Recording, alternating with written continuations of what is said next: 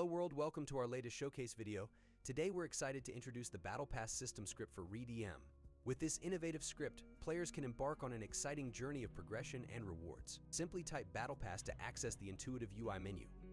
As players spend time in the server, they'll earn XP towards their Battle Pass level. Each level requires 1000 XP to progress, and the maximum level cap is customizable, currently set at 100. But the fun doesn't stop there. Players have the option to purchase levels using in-game currency, instantly boosting their progress.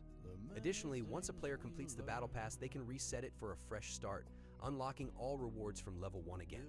With configurable settings for XP requirements, max level and level purchase Battle Pass reset costs, and rewards, the Battle Pass system script offers unparalleled versatility.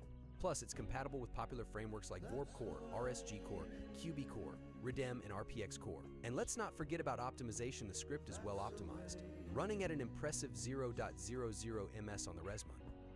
Thank you for joining us on this journey. Like, subscribe for more exciting releases, and find all relevant links in the description below. And until next time, bye-bye.